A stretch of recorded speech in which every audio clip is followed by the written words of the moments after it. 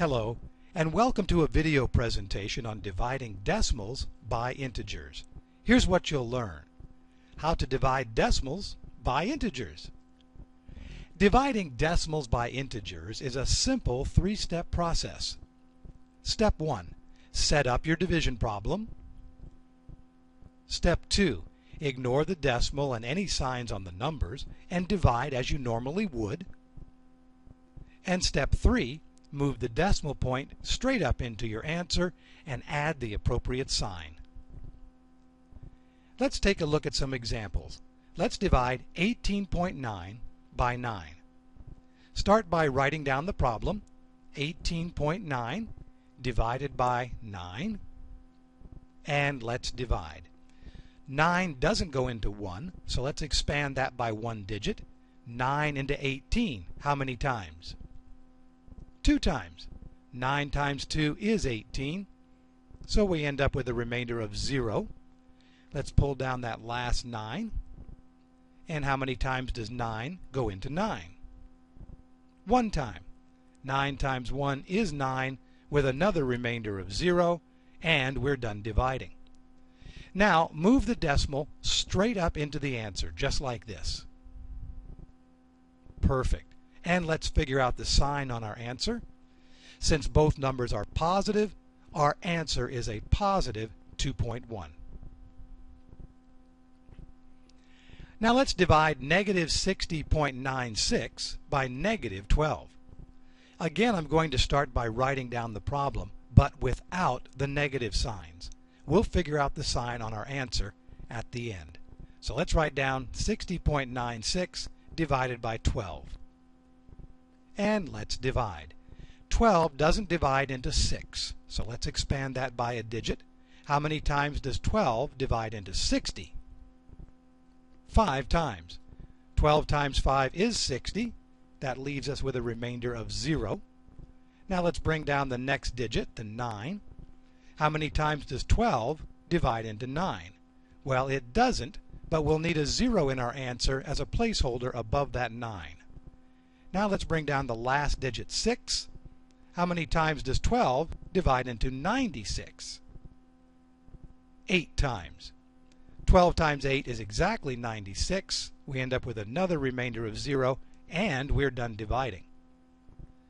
Now move the decimal straight up into our answer, just like we did last time, and figure out the sign on your answer. Since both numbers are negative, our answer is going to be positive 5.08. Now let's divide and round our answer to the nearest hundredth. Let's take negative 1.2 and divide it by 7. Again, start by writing down the problem without the negative sign. We'll figure out the sign on our answer at the end. So we have 1.2 divided by 7. Now let's go ahead and divide. 7 doesn't go into 1 but we need a zero placeholder above the 1 because the decimal point will be right after that. How many times now does 7 go into 12? One time. 7 times 1 is 7, and 12 minus 7 gives us a remainder of 5. Now we need to keep dividing because we want to go to the nearest hundredth, so we can't stop right now. Let's add a 0 after the 2, bring that down to our remainder of 5, and make that a 50. How many times does 7 go into 50? 7 times. 7 times 7 is 49, and we end up with a remainder of 1. Now, we can't stop. Since we're supposed to round to the nearest hundredth, we have to divide to the thousandths, or the third decimal place. So we need to add one more zero, just like that. Bring that zero down to our remainder of 1 to make it a 10 and do one more division problem. How many times does 7 go into 10? One time. And we don't need to bother to figure out a remainder here because the 1 in the thousandths place won't round the 7 up to an 8. So we're going to leave the 7 as is and we can discard the last 1 that we divided into. Now move the decimal straight up into your answer and figure out the sign on the answer. Since one number is negative and the other is positive, our answer will be a negative 0.17. Now let's wrap this up with a word problem. Students in Mr. Gerard's fifth period class wanted to have a pizza party. The pizzas cost $50.65 and soft drinks cost $6.39. They decided to split the cost evenly among all 23 students. So how much does each student owe?